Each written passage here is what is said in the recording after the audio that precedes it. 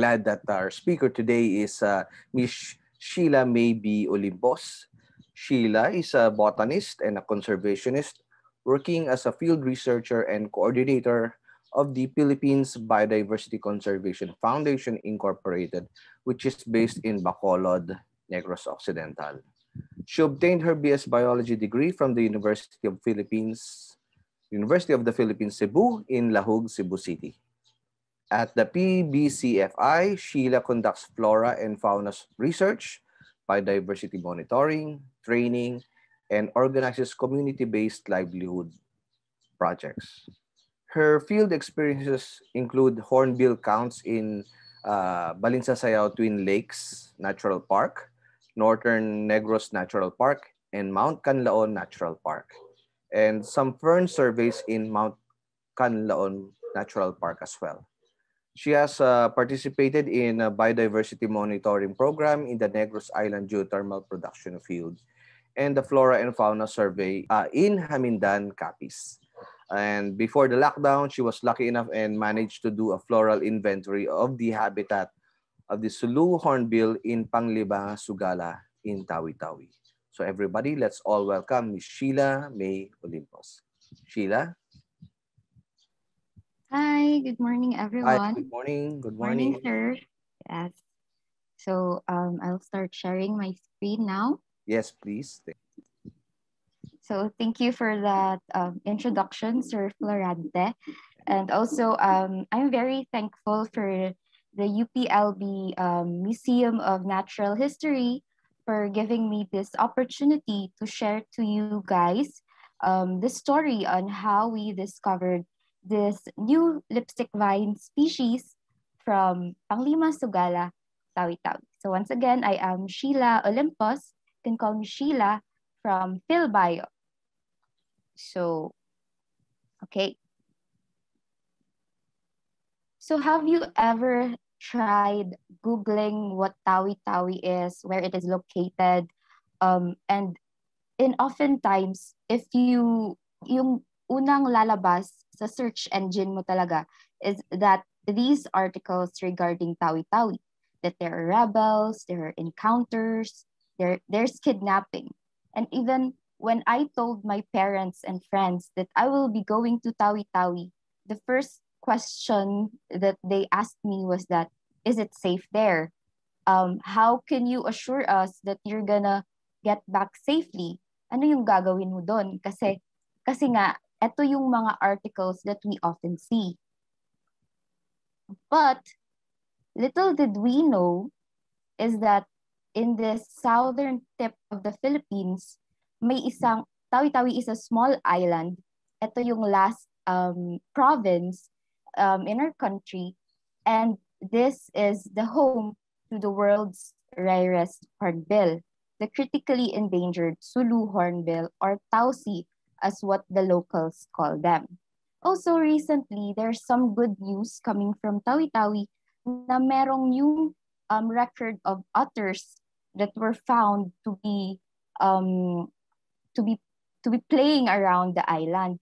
So this is um, this is what we don't know usually. Ito yung mga articles, mga good news na hindi natin usually nakikita sa news about Tawi-Tawi. So, what makes Tawi-Tawi nga ba extraordinary?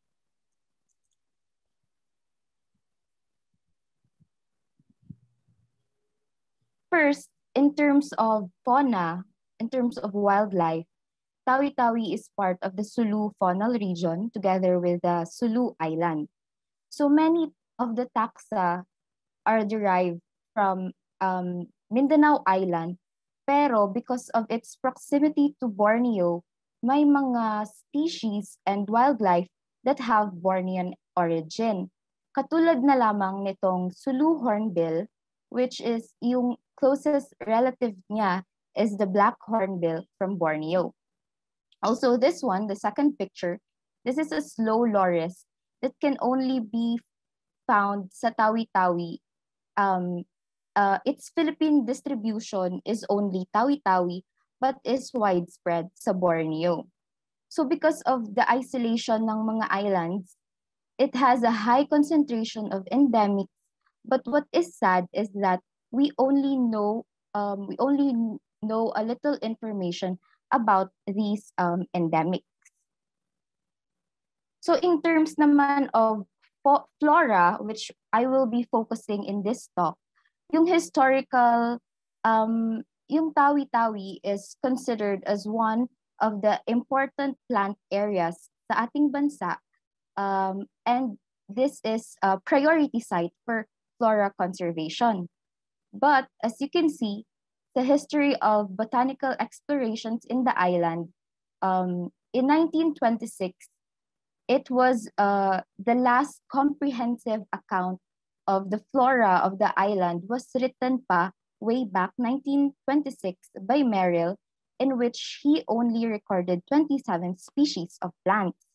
This was then followed only by occasional collections, the latest being in 1994 as part of the Philippine Plant Inventory Project.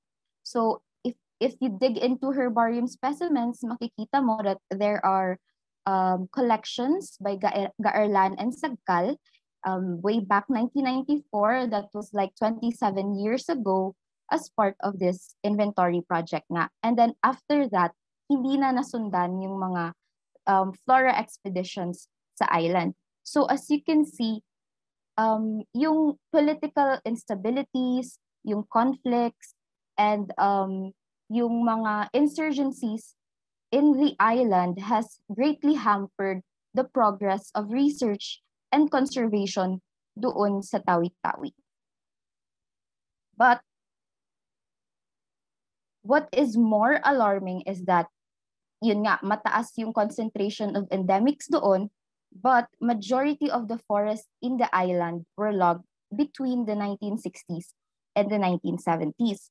So only the municipality of Panglimas Sugala and Languyan have um, have become uh, have become the had the largest concentration and yung Panglimas Sugala um, had the highest chunk uh, had the biggest chunk of the forest. Pero nakakalungkot lang because as you can see sa map from the globalforestwatch.org yung Panglimas Sugala has experienced a great tree cover loss for from 2001 to 2019. So eto na nga lang yung may pinakamalaking forest but then um it has it had experienced pa a decline. So you can really see na there's an urgency to conserve the the remaining forest and the wildlife sa Tawi-Tawi before it would before it's too late for us. So to address this issue, um, in 2019, you, um, our Hornbill experts, our local stakeholders, the local government of Panglimas Sugala, the Philippine Marine Corps, the um, the forest rangers, or as we call them, the Tausi Rangers, and uh, other academies sa Tawi-Tawi uh, um, joined together to create this Sulu hornbill species conservation strategy and action plan. So this is a 10-year plan para to conserve the Sulu hornbill and its remaining habitats. So this has become the Bible for the conservation doon sa Tawi-Tawi kasi nakasaad dito yung mga programs, mga priority um, activities, mga targets that are needed para to ensure that there will be no decline of forests and the Sulu hornbill population would be intact sa Tawi-Tawi. So in this um, conservation action plan, dito um, it's is included yung Project Tausi or the Sulu Hornbill Expedition. So kasi para ma-conserve natin yung Sulu Hornbill, kailangan we need to understand its habitat, we need to confirm its presence there, and um, we also need to involve the community kasi who will they're the best um they're the best people para mag-protect ng ng kanilang forest. So what we had in mind when what we had or what we wanted to achieve is that we in this expedition we want to get the population estimate of the Sulu Hornbill to um, check the conservation status of the forest in Tawi-Tawi and as well as to update nga the flora and fauna data um, of the island. Nga, um, as you can see, yung literature has been very outdated na. So with this in mind,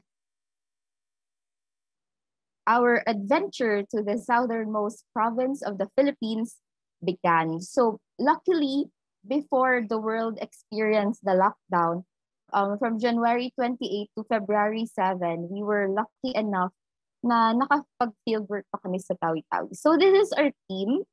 Um, kami, uh, composite team kami. We have experts that are doing research on birds and bats and herbs. And me, um, ako yung um, the one doing the flora inventory. So most of us in our group are really first timers sa Tawi-Tawi. So um, nung nalaman namin that we will be going there, I felt excited and anxious. Um, both um, excited and anxious kasi excited because not everyone is given the chance to go to Tawi-Tawi to conduct research and then um, kasi nga kulang sa data so every observation, every um, data that we will that we will collect is very vital in establishing the database of Tawi-Tawi. And also anxious then kasi it's a new place for me. Uh, I'm thinking um how how will I how will I get through the 15 day na field work namin and then and then how to adapt when then with their culture kasi nga iba you're expecting na iba, iba na yung ano doon eh iba na yung culture because that's the southern tip na but then um but then I will tell you later kung paano naman na tagumpayan namin So our site was in the Upper Malum watershed in Barangay Magsagaw, Panglima, Sugala. So we only were allowed to survey around 60 hectares of forest. As you can see sa map, etong dot, eto lang yung na-survey namin na area. And then relatively, malaki pa yung area ng Upper Malum watershed. The reason behind that is that because of security purposes, we were only told by the Marines na um, we were oriented by the Marines na meron kaming grid lamang kung saan pwede kaming mag-survey and we cannot go beyond that. So they were very strict. Kasi um, when we go to the forest, may kasama kami Marines, and then may GPS ano talaga sila. And then if we go beyond that, um, sinasabihan talaga kami na we need to go back because that's like beyond the allowable area that we were um, the, the allowable area. So, ayun, um, Upper Malum Watershed is a lowland forest around 135 to 182 meters above sea level. So, the trees were around 10 to 15 meters tall. Meron ding mga towering as tall as 20 meters. And then, some areas have this um, rocks na limestone yung substrate. So, the dominant trees include ilang-ilang, Um, we also have the balete trees, the nutmeg, and asin, and other pioneering species that are from the Euphorbiaceae family.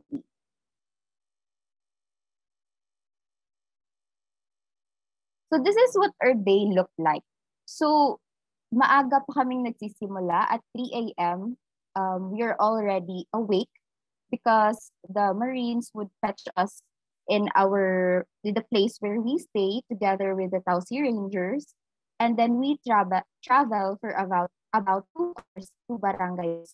So ito yung sasakyan namin. These are the rooks is what they call it.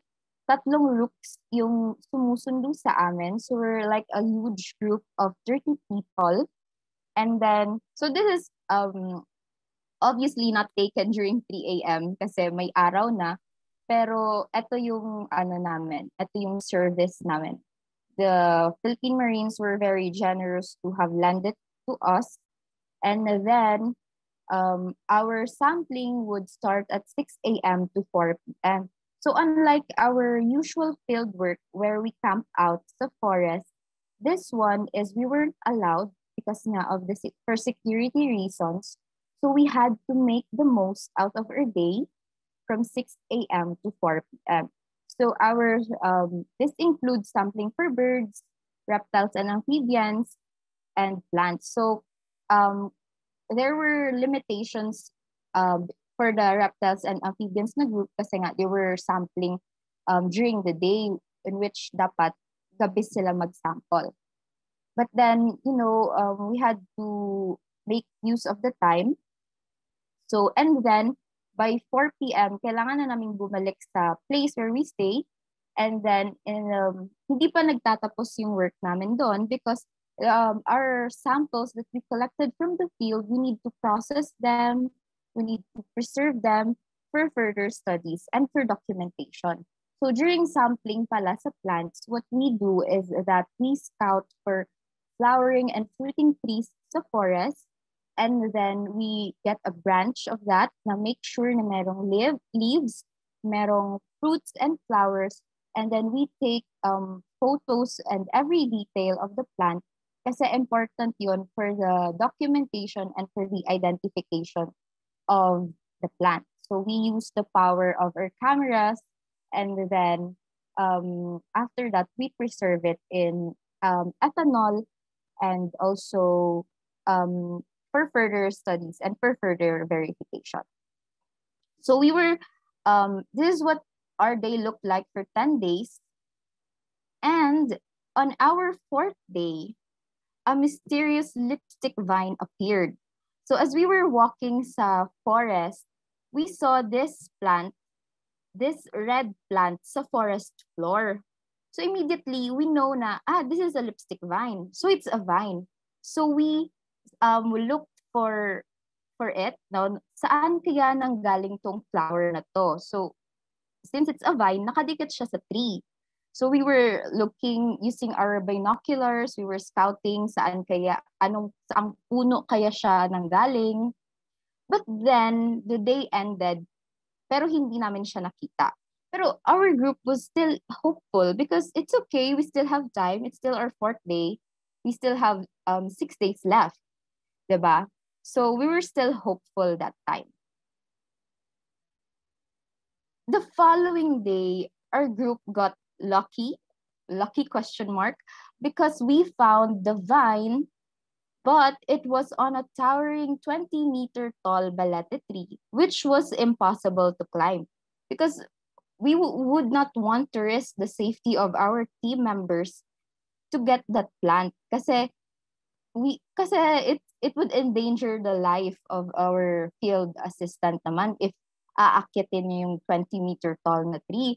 So parang kami, Hmm, bakit bakit kaya ano, bakit kaya pinakita sa atin tong lipstick vine tas andun pala sa napakataas na puno? Baka ayaw niyang magpa-describe. Baka it just wants to be noticed. Ganon. Um, so that was on the fifth day. So we only have five days left. And then as days pass, hindi na namin nakita or we haven't seen another lipstick vine na pwedeng na now very accessible to us. So we were slowly losing hope na sige, hindi na siguro natin yun makikita. Maybe the next time we go back here in Tawi-Tawi, doon na siya, doon na siya accessible for us or makakollect na siya namin. But then, our group got lucky because on the eighth day of our sampling, we found two flowering individuals of the vine on a fallen tree at around 165 meters um, elevation.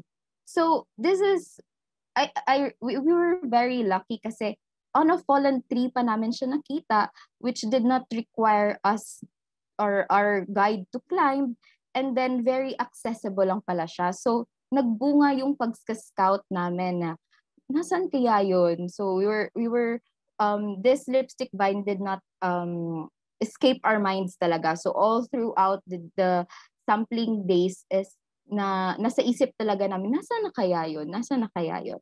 But then we got lucky on the eighth day. So just to give you a background, lipstick vine is from this from the genus Aeschynanthus. So may nakita kong comment dun sa Facebook na lipstick vine, if you're a plantita and a makeup enthusiast, this plant is for you. Kasi nga, ano siya, a combination of plantita and makeup enthusiast. So it came from the word Aeschynine, or uh, which means shame, and anthus flowers. Shame because yung most of the flowers are colored red, and when you're when you're ashamed, you get to blush. Kaya um, Aeschynanthus or yung yung general gen, genus name niya. So its distribution includes India, New Guinea, Solomon Islands, Southeast Asia, Southern China, and Sri Lanka. So the Philippines has 30 species of Aeschynanthus and all are endemic. So when comparing it to our um, neighboring Southeast Asian nations, yung Pilipinas yung may napakaraming species and because Malaysia has 15, Thailand has 20, Cambodia, Laos, and Vietnam has 18. At tayo, 30 species and lahat yun sa Pilipinas lamang makikita. So the most recent um, edition of the Lipstick Vine was published in 2001 pa. That was 20 years ago by Mary Mendom. And yung um, she described two species from Palawan. So napaka ano na napaka tagal na yung last na new discovery of Asian Anthus. And then what is ano sad is that yung etong genus na to despite the high endemicity in the Philippines is that it receives less attention. Um yun because the descriptions of the existing lipstick vines in the Philippines are incomplete. Yung mga voucher specimens were um not updated, ganun. Um, so, kailangan talagang may magtrabaho sa Aeschynanthus. So, after 20 years, we found a new um, lipstick vine. But then the question now is, is it really a new species? So that was just our ano hypothesis na new species siya. So we need to take um uh we need to take steps to know if uh, if bago ba siya or hindi.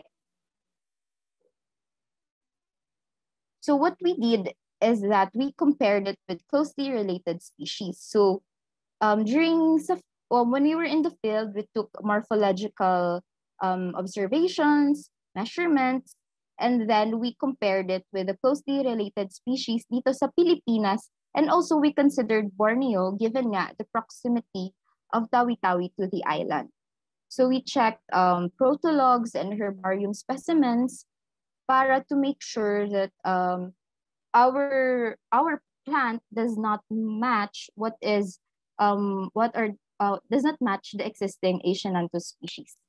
In um, so um, after that we so what we did na is we made a table um, bakit ba um, stating why is it new, we compared it, and then we sent it to experts to verify our hypothesis. So it's very important to seek their help kasi sila mismo yung nakakaalam um, if it is indeed new. So after they have seen it, they they nag-comment sila on on how we should do it, on some revisions and changes, and then we wrote the manuscript. So this is one of the hardest part kasi um, it takes so much time and but then um, kailangan yung you need to state the diagnostic characters of the plant, the complete description, the conservation status and notes. So it's it's ano, it's really um uh it it would seem a daunting task but very fulfilling naman. So, we sent it, after na meron kaming draft of our manuscript, we sent it to Phytotaxa. phytotaxa na journal, international peer-reviewed journal. So, my co-author and I, Jason, um, nung nala we were both very nervous kasi parang um, this is something new to us. So even submitting the uh, even clicking the submit button, kinakabahan kami. And then if we receive notifications from Phytotaxa, parang uh, ano kaya ano kayang comment nila sa manuscript namin. So at first it was accepted but major with major revisions. So you were kind of lost kasi um I we thought na we did our best. We did, we we wrote it um well for us, no? But then we still had um to revise it based on comments ng editor and the reviewers. So we were happy and angry at the same time. But then, um, dun nga sa mga mistakes mo, sa mistakes namin, dun kami mas nag-learn and that we know better because of it. So after a year of pabalik-balik na revisions from the editor, finally our article got published um, last um, last February.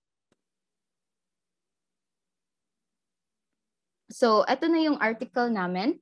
Um, Asiananthus regiae, a new species of lipstick vine from Tawi-Tawi, Philippines.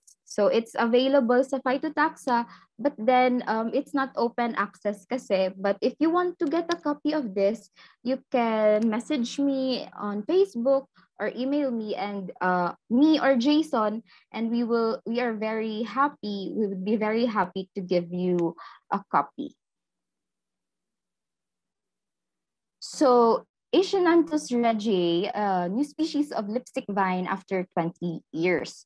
So it resembles um, Asiananthus obconicus from Borneo and Asiananthus ovatus by having an ovate leaves and dense indumentum in the external calyx and corolla. So I will elaborate on its um, uniqueness later. But then yung etymology niya kung bakit regiae is that it was named after Reggie Sahali General, who initiated biodiversity conservation programs in Panglima Sugala. So Miss um, Reggie is the first female vice governor sa ARM before, that was ARM pa.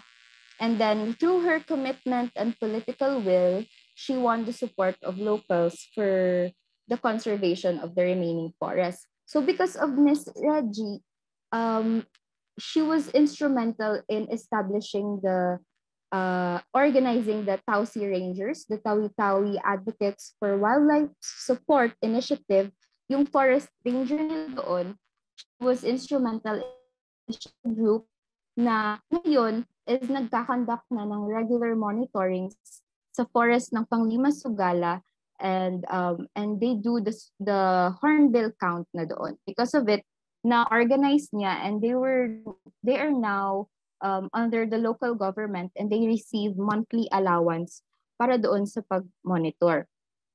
So we decided that um, A Asiananthus regiae is under the data deficient category sa IUCN because nga we only saw two individuals doon sa 60 hectares na forest. So that would be ano that would be very um, not conclusive pa of its um, conservation status. So for now, we place it under the data deficient. So what makes Asiananthus regiae unique? First, its leaves has persistent pubescence or hairs.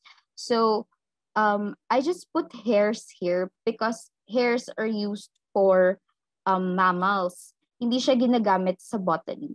So, pubescence is the right term. As you can see, medyo may mga may mga buhok-buhok siya dito.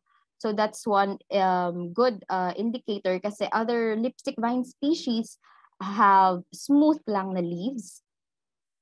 Second is the most um, one of the most defining character of Asiananthus regiae is its campanulate or bell-shaped na calyx with dense indumentum or hairs, quote unquote hairs, in its external and internal na surface. So as you can see, this white part, the calyx, is filled with hairs.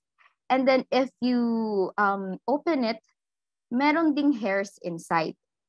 So its external and internal surface have this hirsute indumentum.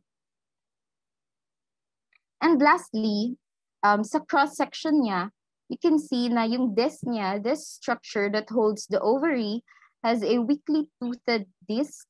Meron siyang um, mga crenations na very shallow lang.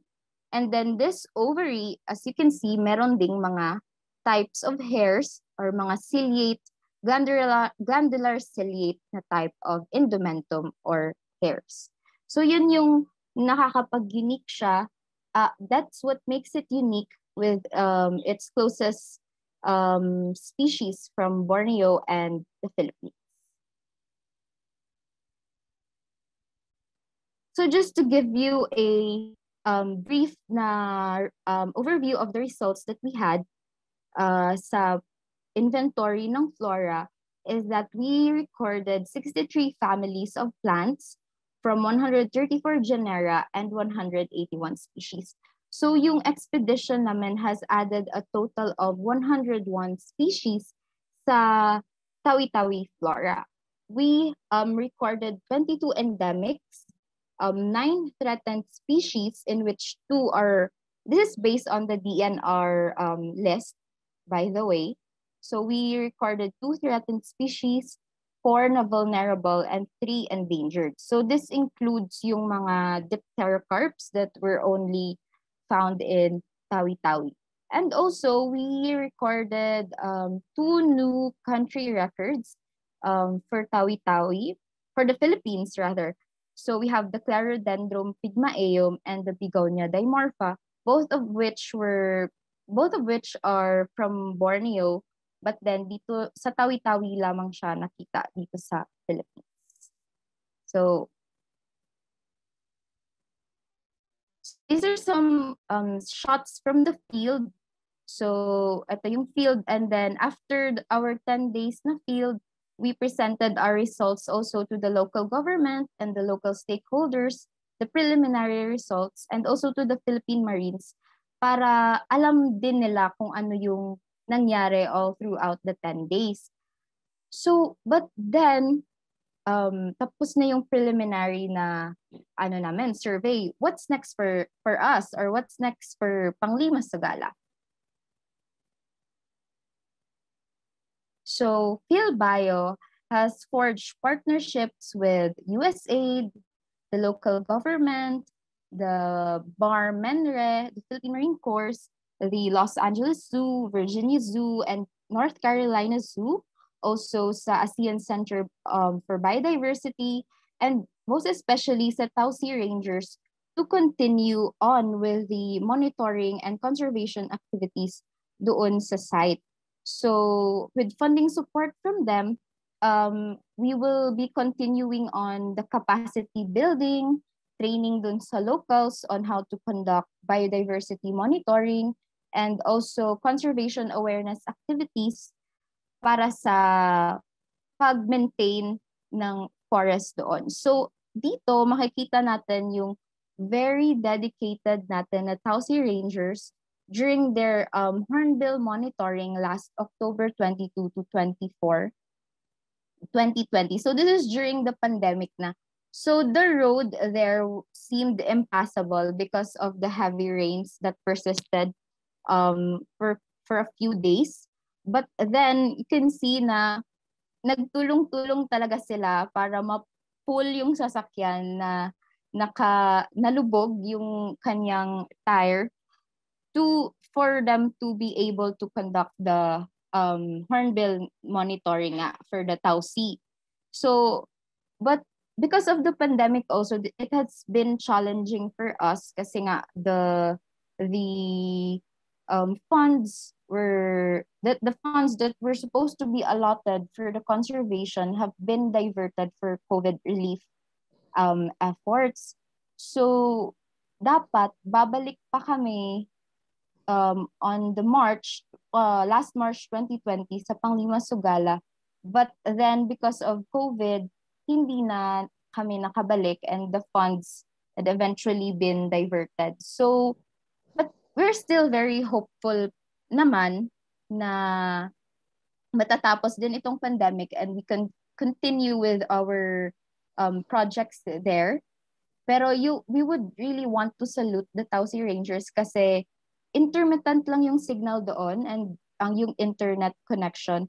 But then they we they still reach out to us and us also we reach out to them na if they need any technical na support para doon sa pag-monitor nila. At continuous naman yung monitoring nila which is really good to see. So some key takeaways for this new for this discovery of our team. Siguro um with this discovery, I hope that it would shed light to um, more conservation studies sa Tawi-Tawi kasi nga napakaraming kailangang pag-aralan, napakaraming endemics that were overlooked for a very long time doon. And it needs um, urgent conservation and um, attention. Also, through this um, discovery, we hope that um, this will rekindle interest sa pag-study ng lipstick vine na genus dito sa Pilipinas kasi tayo yung may pinakamarami but then we are far behind our neighbors kasi may mga updated literature sila on Asian Antus but then us um we're still working on it. And then we just hope um I just hope that with this discovery the the people sa Panglima Sugala the local government, the community there would take pride in this kasi this is a result na sa pag-protect ng forest nila because they were able to protect it in a way may mga new discoveries na um, may mga new discoveries of plants and possible other animals doon sa kanilang forest. So I just hope that this would inspire them to be more involved because um, after all, a very successful or the best conservation programs needs active participation from the community itself.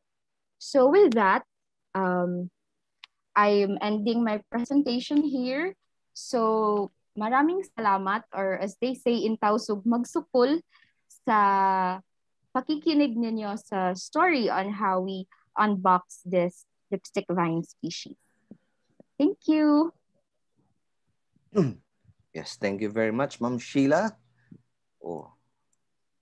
Yes. Thank you very much for your story. A very exciting and inspiring story.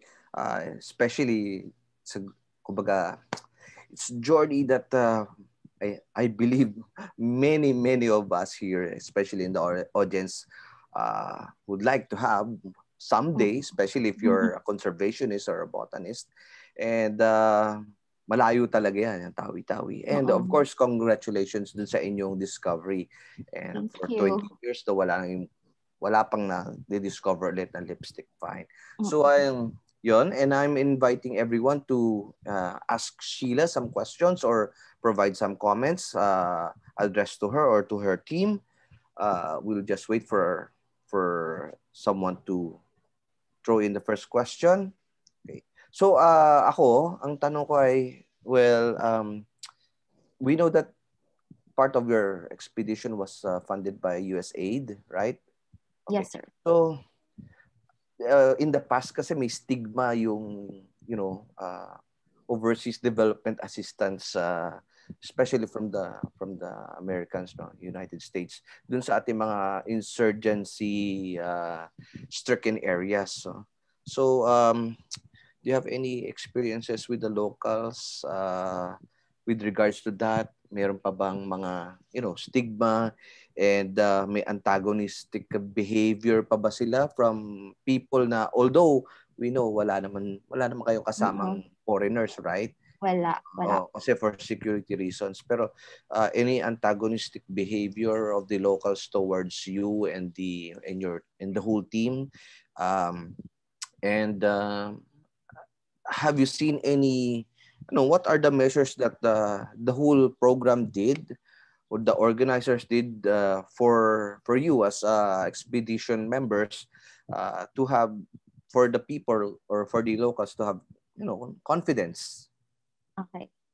So um unang-una po wala po kaming na experience na yun nga antagonistic. The locals were very welcoming na po. They were um they were very curious mm. ganon they were um on the first day siguro parang you know um we're we're trying to establish pa the atmosphere but as the days pass they have they they started asking questions kung kung anong um they started asking questions no nagiging curious na sila on what we do mm-hmm. why we do this ganon so you can see talaga na um naano na yung mind nila mm-hmm. but um they were very welcoming na um even na uh, after um after work nag they, they still come to our the place where we stay and help pa.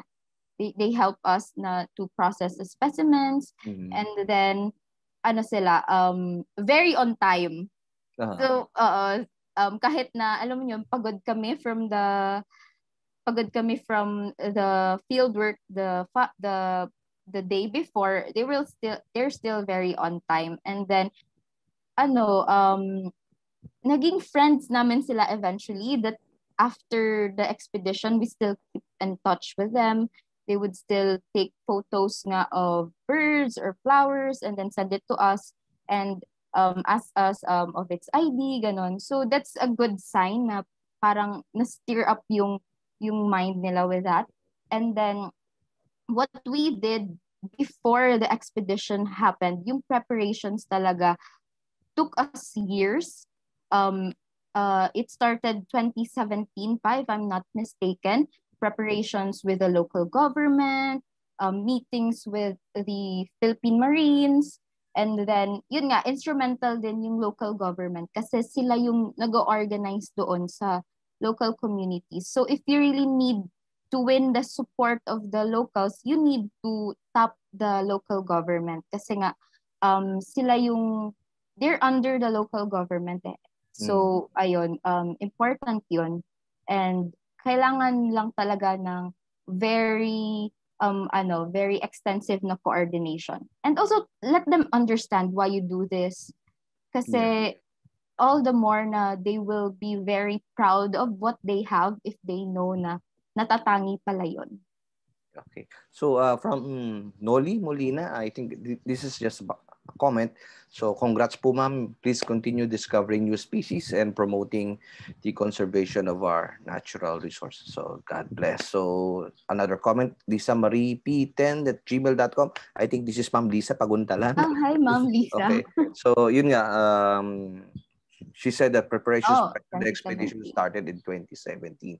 So mm-hmm. I think um, that underscores the importance of social, you know, social preparation Yes. Uh, hindi tayo basta-basta pumapasok. No? Opo. Especially, We need to respect po mm. their, their ano, boundaries and culture especially. We need to be culturally sensitive also. Yes.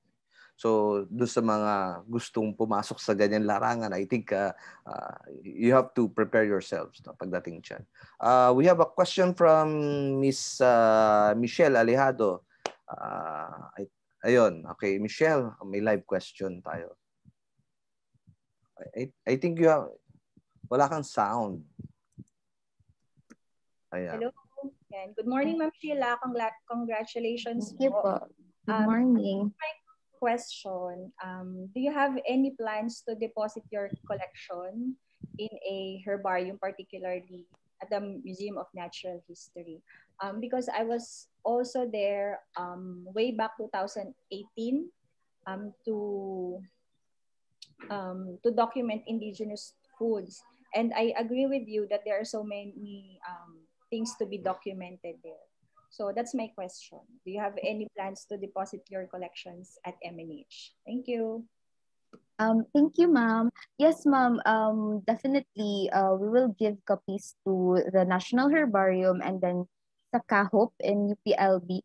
But um, pinaprocess pa po namin kasi yung specimens namin were dried sa um, University of San Carlos with the help of Sir Val Salares. And then, naabutan na yung lockdown doon. Mm-hmm. So, para, so we need to go back there and, um, you know, segregate the specimens and then isi-ship namin sa um, different herbaria sa dito sa Philippines. Thank you, Michelle. Uh, a comment from uh, Jenan Liana. So, She, congrats again and power on. Timing kaayo for the International Women's Day celeb. Oh, happy happy International Ay, Women's Day. I, I, was it I think it's it was today or last or no, it's the International Women's Month. Month, yeah. Uh, okay. So, any more questions? Uh, may tanong ako actually eh. Ayun, meron ba kayong like eh, mm, during the length of your expedition, meron ba kayong uh, like a, uh, a training component? You know, um, teaching the locals also to do or at least uh, understand by doing also what you are doing like uh, hindi lang yung rangers but the you know the immediate locals uh, may ganong component ba yung program Okay. So during the expedition, yung mga nakasama namin is yun po yung mga rangers. Mhm. Um, so sila, naturuan namin kung paano gumawa, paano yung mga field sampling techniques, why we do this, ganon. Pero dun sa um, locals mismo, I think you're referring to the ones na nagre-reside. uh, yes yes uh, yung hindi rangers, 'di ba? Mhm. Um, hindi pa po kami naka-proceed with that. Although what we did nga po is we um, we shared our preliminary results doon sa mga locals. But then when it comes to training, yun po yung mga next steps na gagawin namin. That's why continued po siya kasi um, may mga programs pa na dapat gawin. Yes,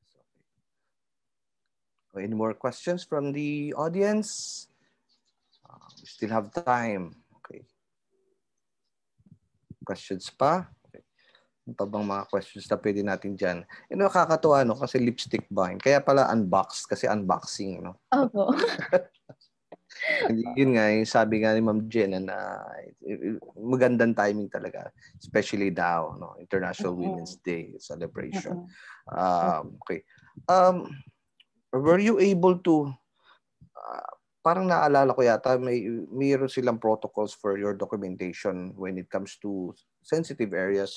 Uh, how does it differ kung yung, alam mo yun, normal natin na documentation which which we get uh, usually uh, we take photos of the uh, the the general environment um, of course the specimens uh, pero mayroon na bang mga restrictions in terms of you know, taking taking documentation videos of uh, people the locals uh, yung mga ganon?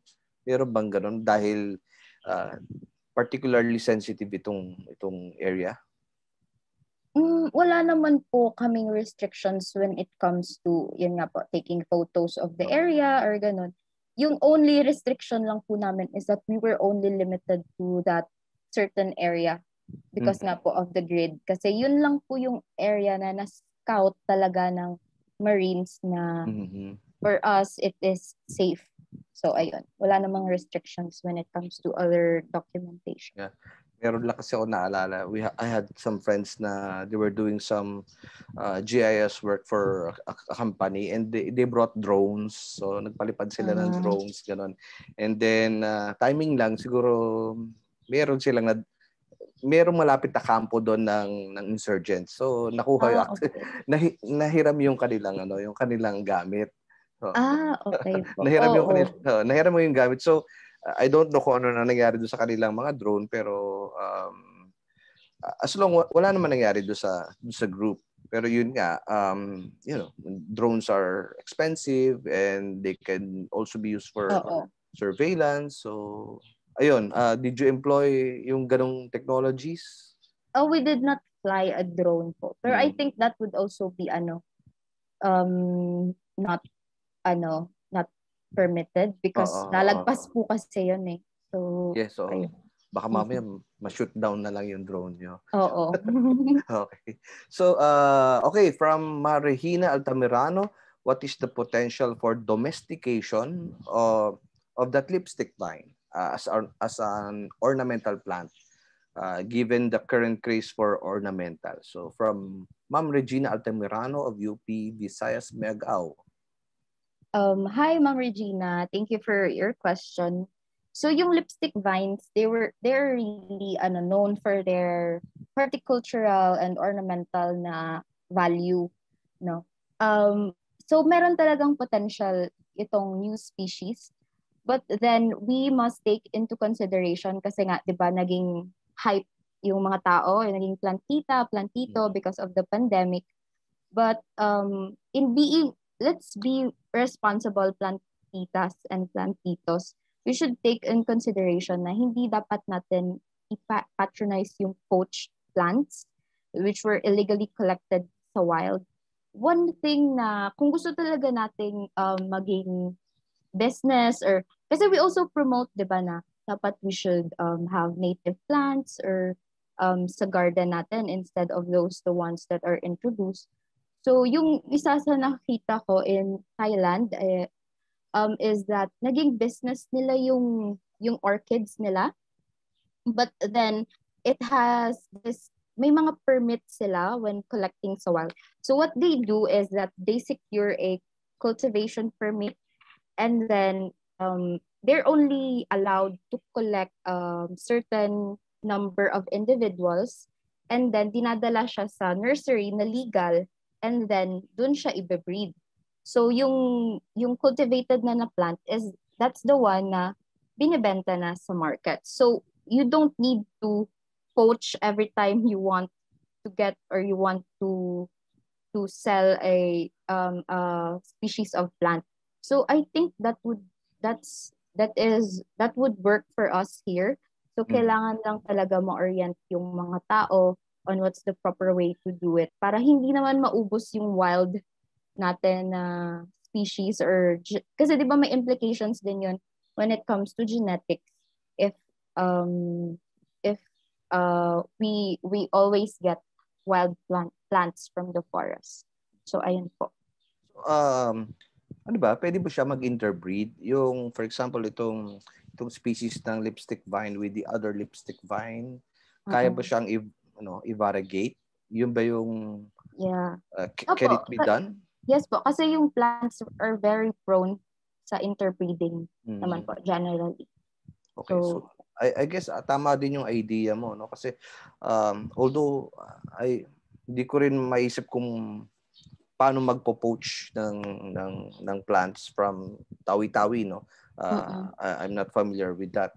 Pero yun nga, as a livelihood uh, you know, opportunity, pwede nga yung sinasabi mo, no? It's like Mm-mm.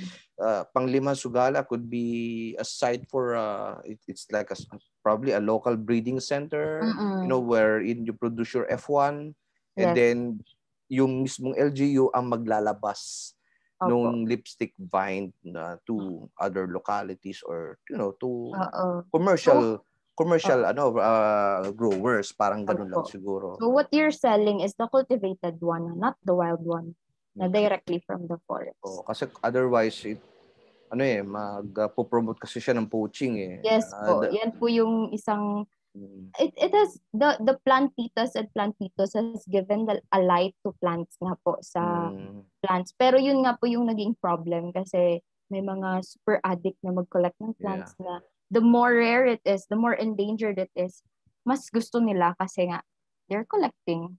There Yeah, it adds value to their collection. Lalo na ngayon kasi ano parang uy may bago galing pang galing pang Yes po. tawi-tawi baka may Mm-mm. kakilala kang pwede maglabas diyan something like mm-mm. something like that we hope So yun nga po, um, I hope ano, um, yung mga participants here are very Mm. aware of that na i-report niyo po sa um, agency or sa kinauukulan kung may ganun. Kasi kaka-describe pa lang ang ano naman if mawala siya agad. baka bukas Kakalungkot. Baka bukas meron yan sa Quezon City okay uh, naman. Uh, from Ma'am Lisa um what are your thoughts in sustaining the long-term conservation of the remaining area considering that majority of the remaining forests is outside the forest land and access to the site requires resources. Okay. So, to sustain po siguro the long-term conservation, no, given na outside siya sa forest land is that Ah, kasi po, I think um, Ma'am Lisa is referring na yung site po kasi is like a conflict area. May mga conflict areas doon sa land claims doon. Um, doon sa area where we where we um, stud- studied or where we surveyed.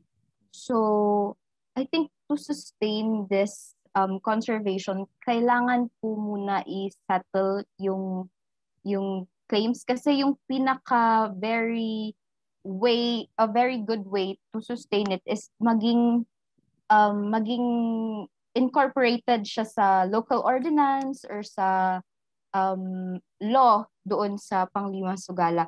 So I think it needs na kailangan mag-sit down yung owners and then yung local government to settle this and to make it um to make it a critical habitat or, or of some sort para meron siyang legal protection. It's binded by the law.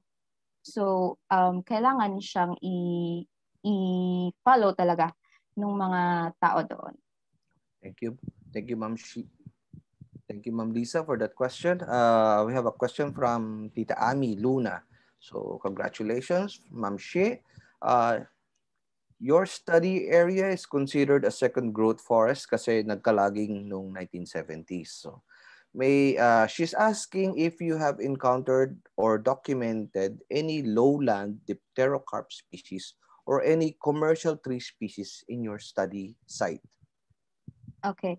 So, um, meron po kaming na-encounter na dipterocarp, but then po, we were, kasi on, during our visit, wala pong flowering or fruiting na dipterocarp. So, um, we just initially ID'd na it's a dipterocarp. But to be certain of its um, species, kailangan po namin yung ano niya talaga, fruiting and flowering na specimen. So, meron pong mga dipterocarp doon. Um, the, um, and then, uh, Dipterocarpus shuducornotus is one na dipterocarp na sa tawi-tawi lamang makikita. So we were uncertain if if that that tree is that species. So it needs further ano pa, uh, verification on that. And then marami pong mga commercial tree species naman on our site um, kasi uh, it's a secondary growth forest din naman. And then also mga food plants din now that are very big na from the Miliaceae family. If you're familiar po with the Chisoketon, meron din pong ilang-ilang. We were very um, surprised na yung ilang-ilang po pala is one of the food plants po ng Sulu hornbill. Kinakain po siya. And then meron din pong mga nutmeg doon from the Myristicaceae family na food plants din ng mga Sulu hornbill and other bird species po. And uh, I guess, uh, what is your timeline pagdating po do, dun sa producing that uh, inventory or checklist of the food uh, sources of the Sulu hornbill? Mm-mm um, what do you mean po? Like yung next step? Oo, yung pagdating kasi 'di ba nag-survey kayo along mm-hmm. with with the with the uh, count nung yes, po. Na, remaining hornbills. Mm-hmm. Uh, meron ba kayong ipoproduce na like a checklist or uh, inventory na you know mm-hmm. pictorial guide? Yes. So the next step po is yun nga po um we would uh, produce mga IEC materials for that. And then, um, isa din po sa tinitingnan namin is that um, we have already identified yung mga trees important for Sulu Hornbill. So we have already tagged them. The next step po is to get the seeds from those and um, and um, hopefully yung mga seeds will be uh, pag-grow po siya sa nursery and those trees then mismo yung gagawing um, seedlings that will be replanted po for the forest para in a way um, same species po yung so hindi kami mag import yes. parang ganun po for the reforestation program po. Yeah, and and ano, ako baga uh, science-based yung pagdating dun sa inyong uh, reforestation uh, strategies na gagawin nung nung LGU no you know uh, making Opo. sure that uh, the ones that are being planted are the ones that are needed by the. Opo. uh, the Suluhorn bill especially na um, yun yung kumbaga you know no, mo, uh, main point of entry nung nung program ng biodiversity conservation program diyan sa Sulu uh, sa panglima uh, Sagara. Okay. Any uh, any more questions from the audience? Uh, okay. So wala wala na po ba?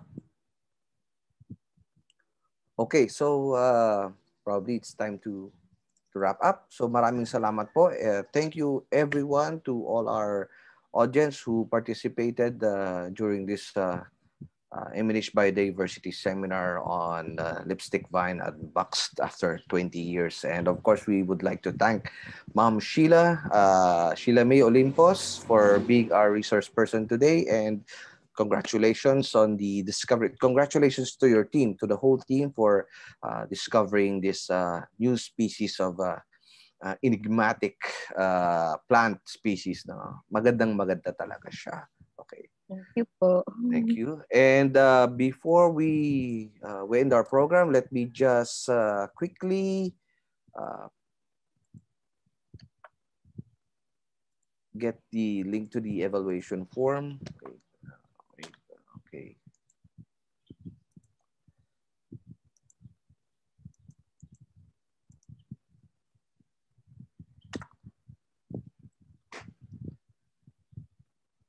And um, let me, oh wait.